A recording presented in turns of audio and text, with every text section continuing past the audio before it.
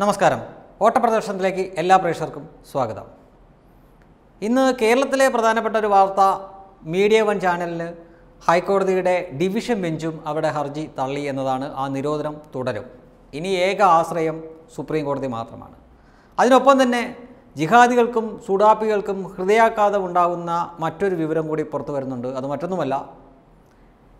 കോടതിയിൽ കേന്ദ്ര സർക്കാർ മുദ്രവെച്ച കവറിൽ കൊടുത്തത് കൂടാതെ കേരളത്തിന്റെ രഹസ്യാന്വേഷണ വിഭാഗവും പോലീസ് തന്നെയുള്ള. അവരും മീഡിയ വണ്ണിന് എതിരായിട്ടുള്ള റിപ്പോർട്ട് തന്നെയാണ് കൊടുത്തത് എന്നാണ്. അതായത് ആ വകുപ്പ് കൈകാര്യം ചെയ്യുന്ന മന്ത്രി സാക്ഷാൽ പിണറായി വിജയനാണ്.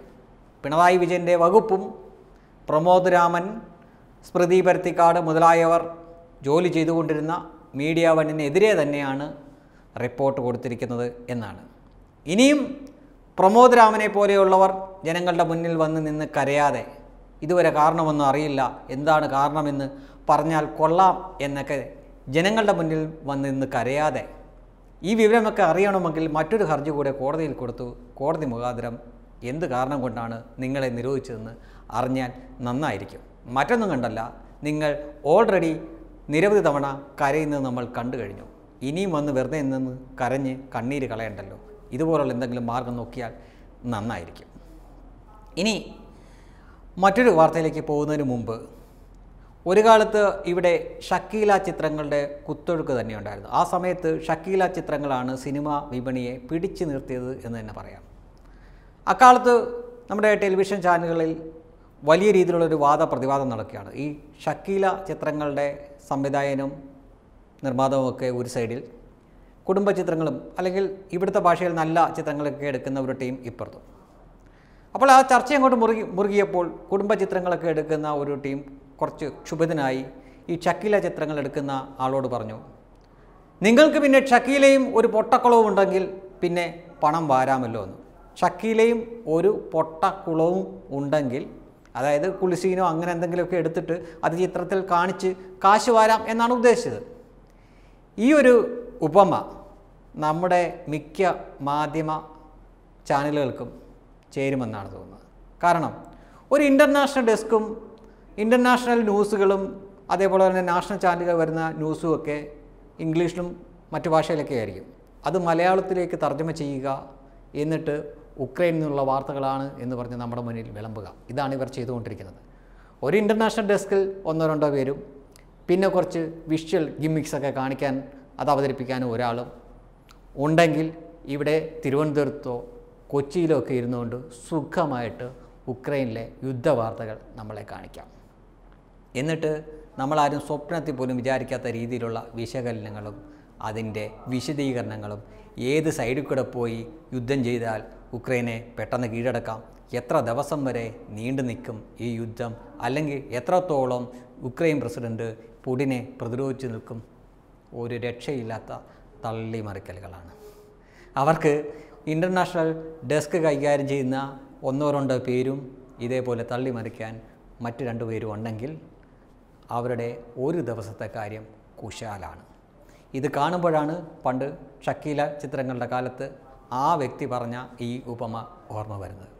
എന്തായാലും നടക്കട്ടെ പുതിയൊരു വിഷയം വരും വരെ എന്തായാലും നമ്മളെ ഈ ഉക്രൈൻ യുദ്ധം പറഞ്ഞു തന്നെ ഓരോ ദിവസവും ഇവർ വിശദീകരിച്ചുകൊണ്ടിരിക്കും എന്ന കാര്യത്തിൽ സംശയമൊന്നുമില്ല. പണ്ടൊരു സിനിമയിൽ പറഞ്ഞ പോലെ പല്ലിയെത്താൽ തവള ചാവും വരെ തവള ചത്താൽ പാമ്പ് ചാവും വരെ പാമ്പ് ചത്താൽ കഴുകൻ ചാവും വരെ. അത്ര മാത്രമേ ഉള്ളൂ വാർത്തകളുടെ പ്രാധാന്യം. അവർക്ക് വീണ് കിട്ടിയ ഒരവസരമല്ലേ അവർ ചുമ്മാ അങ്ങ് അറുമാദിക്കട്ടെ. മറ്റൊരു വാർത്തയിലേക്ക് പോയി കഴിഞ്ഞാൽ ഇവിടെ ലോകത്തിന്റെ ഗതി തന്നെ നിർണയിക്കാൻ തക്കതായിട്ടുള്ള രീതിയിൽ ഒരു പാർട്ടിയുടെ സംസ്ഥാന സമ്മേളനം നടന്നുകൊണ്ടിരിക്കുകയാണ്. നിങ്ങളാരും ചിരിക്കുമൊന്നും വേണ്ട. സി പി ഐ സംസ്ഥാന സമ്മേളനമാണ് നടക്കുന്നത്.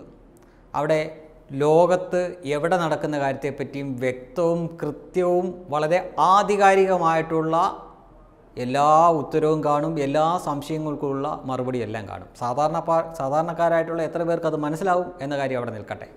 പുതിയൊരു തിയറി കോടിയേരി ബാലകൃഷ്ണൻ അവതരിപ്പിച്ചിരിക്കുകയാണ്.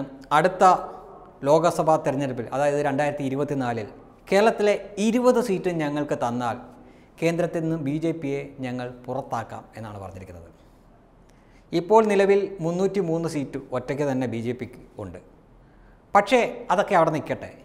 കേരളത്തിലെ മുഴുവൻ സീറ്റും ഞങ്ങൾക്ക് തന്നാൽ ബി ജെ പിയെ ഭരണത്തിൽ നിന്ന് മാറ്റാം എന്നാണ് പറയുന്നത്. കണക്കിൽ ആൾ വലിയ പുലിയായിരുന്നു തോന്നുന്നു. പിന്നെ കുറച്ച് ഉദാഹരണം കൂടി പറയുന്നുണ്ട്. അതായത് രണ്ടായിരത്തി നാലിൽ രണ്ടായിരത്തി നാലിൽ വാജ്പേയിയെ അധികാരത്തിൽ നിന്ന് പുറത്താക്കാൻ സഹായിച്ചത് ഇവിടെ അവർക്ക് കിട്ടിയ പതിനെട്ട് സീറ്റാത്രേ. അണികൾ പൊതുവെ ചിന്താശേഷി കുറഞ്ഞവരായകൊണ്ട് അപ്പോഴത്തെ രാഷ്ട്രീയ സാഹചര്യവും ഇപ്പോഴത്തെ രാഷ്ട്രീയ സാഹചര്യവും അത് തമ്മിലുള്ള വ്യത്യാസത്തെപ്പറ്റി അവർ ചിന്തിക്കത്തേയില്ല. അതുകൊണ്ട് തന്നെ ആ അദ്ദേഹം പറഞ്ഞ ആ രീതി വെച്ചിട്ട് വരുന്ന തെരഞ്ഞെടുപ്പിൽ ഒരുപക്ഷെ കോൺഗ്രസിനോ മറ്റു പാർട്ടിക്കോ കൊടുക്കേണ്ട സീറ്റ് പോലും സി പി എഫിന് കൊടുത്തേക്കും.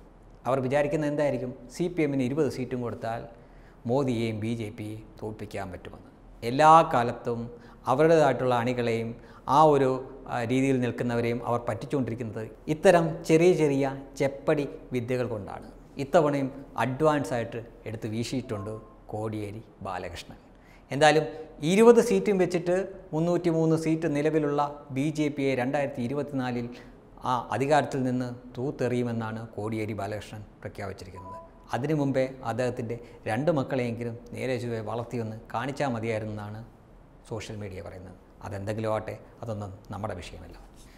ഇനി നമ്മുടെ സംസ്ഥാനത്തെ കോവിഡ് കണക്ക് പറഞ്ഞാൽ ഇന്ന് രണ്ടായിരത്തി മുന്നൂറ്റി എഴുപത്തി മൂന്ന് പേർക്കാണ് കോവിഡ് സ്ഥിരീകരിച്ചത്. മരണം ഏഴാണ്.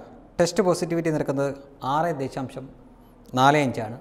എല്ലാവരും സുരക്ഷിതരായിരിക്കുക. ശുഭരാത്രി. Web desk Tatwamayi news.